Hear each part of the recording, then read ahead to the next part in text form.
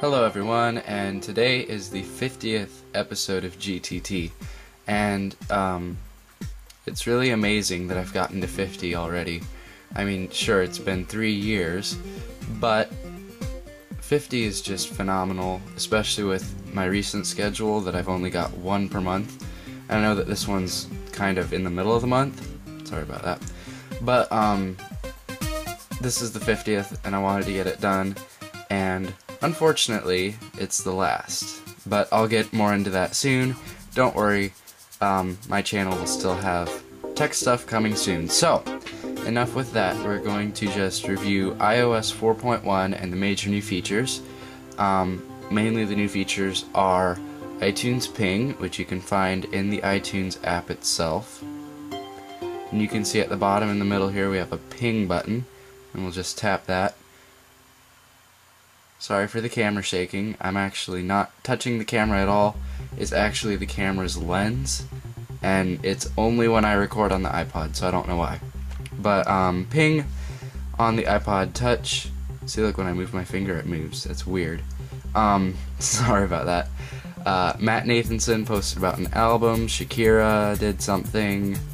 Um, Matt Nathanson posted a song. Shakira did something. Vince started following me.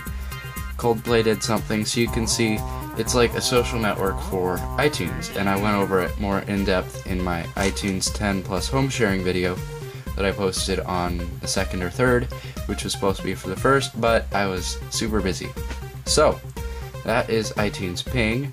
The other new feature in iTunes is TV show rental. So I'll tap TV shows and then I'll tap uh, the rent button. I'll go to comedies and I'll choose Family Guy. And now I can rent, let me just zoom in on that. I can rent it for a dollar and I can buy it for two dollars and I can preview it over there. So now you can rent straight from the iPod and iPhone and iPad. Well, not iPad yet because they still haven't gotten 4.0. But you can uh, you can rent it. That way you don't have to pay the full two dollars, but you don't get to keep it. I suppose. I don't know. I'm not very familiar with iTunes stuff since I don't do movies and TV shows through iTunes. So, those are the two less important features, and the most important feature in this update is Game Center. What Game Center is, it's like OpenFeint or the Plus network, but it's Apple's network. So, when you first start it, it will ask you a whole bunch of questions, and it took me a little bit because um, uh, it kept failing so I just had to keep doing it over and over, but I finally got it signed up, and so uh, you can add me, of course. You can see up there it says Gavin Roskamp, that's my nickname. You can also add me by email, it's gavin at gavinroskamp.com. And uh, what this is, it's kind of, like I said, it's like OpenFeint or the Plus network, but it's Apple's network. So you can see on this Me page, you have your name, the friends you have, how many games you have, how many achievements you have.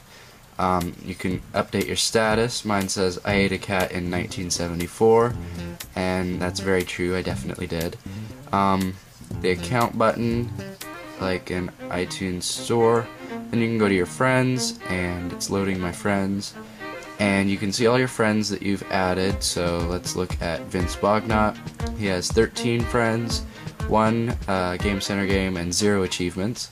And games we've played together are Enigmo, and so I can see how we stand on the leaderboards, and neither one of us are ranked because I haven't played single player since the new update came out, so I haven't done anything. So then, on his page, I can unfriend him or report a problem. So go back here, tap a different person, they have two friends, three games, zero achievements, so it'll show the games in common, so I can like tap Cro-Mag Rally, last played today, and I can see our stats, and then I can go and tap Flight Control, last played today, and see the stats there. So if you want to play straight out of Game Center, you just tap the play button, and it will take you to the app, which we're going to do in a minute.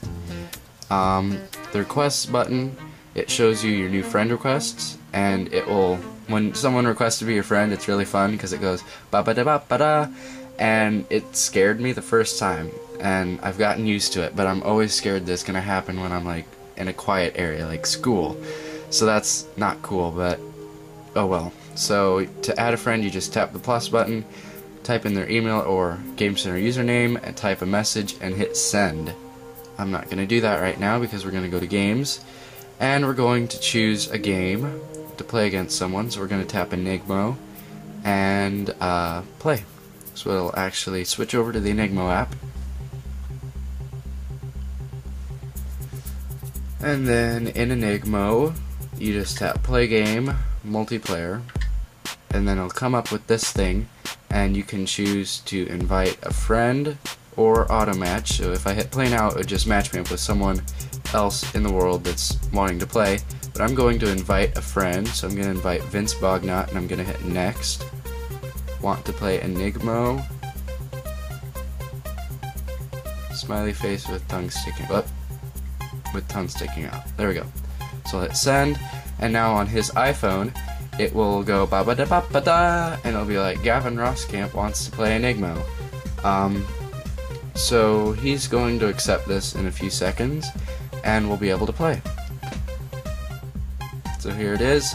He just connected. It says connecting, and it takes a little bit.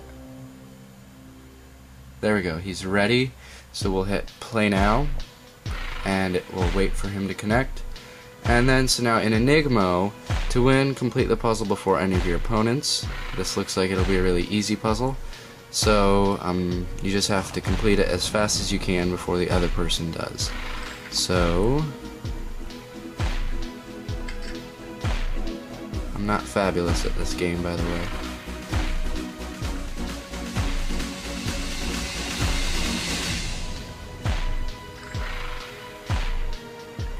There's that. And it looks like I'm gonna win, because you see down there, I got to 40 before he did. So I won! So it just flashes you win, and if I tap it, it'll take me back to the main menu. So, um, now Vince is going to send a request. So, um, we're gonna wait for that request. We can even just close Enigmo, and let's say we're gonna go check out our stocks while we wait. So, Apple's doing good. Check the weather, do whatever we want to. Oh, invitation from Vince Bognot to play Enigmo. Want to play Enigmo? You can decline or accept. I don't know if you heard, but it went da da da da da da. So I'll just hit accept, and it will load Enigmo. And I'll just tap. And there it is. Waiting for Vince Bognot to start the game. So I'm connecting to him right now. and now it says we're both ready and so once he hits play game it'll take us to the next screen. So here we are. And then we'll do it again. So we'll see who wins this time. To win complete this puzzle before any of your opponents. You can play uh, three player on this I believe. I haven't done it yet because I haven't really had time but apparently you can do three player and that means that you just have to do it before uh, either one of the other people got it done. Let me just try to get this. No. No! Okay. Ugh. Okay, let me try this.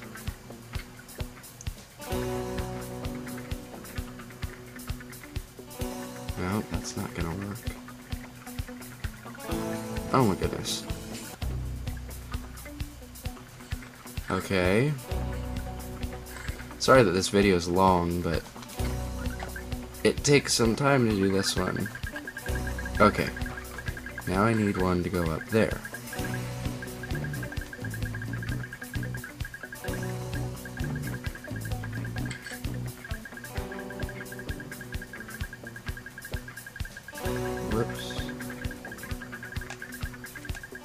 Okay, so they're going in there. Now we'll try sending these through here. And we'll just put that there. There we go. Oh my goodness, I'm gonna win again. Yes, I won.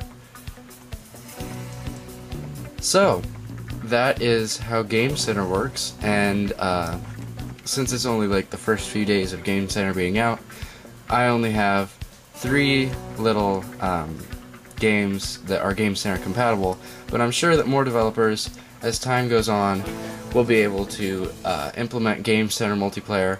And I know that Cro-Mag Rally, which is also made by Pangea Software, um, it has multiplayer, and the racing is pretty amazing with multiplayer. I think you can go up to four people, so that's really fun. And then uh, I know that Flight Control is, but it's only for high scores, so that's kind of a bummer, but oh well.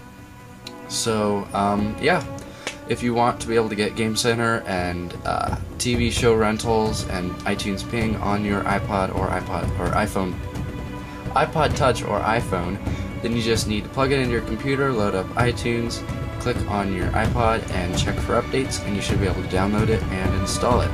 So thanks for watching this 50th and final episode of GTT, and yes, there is more coming.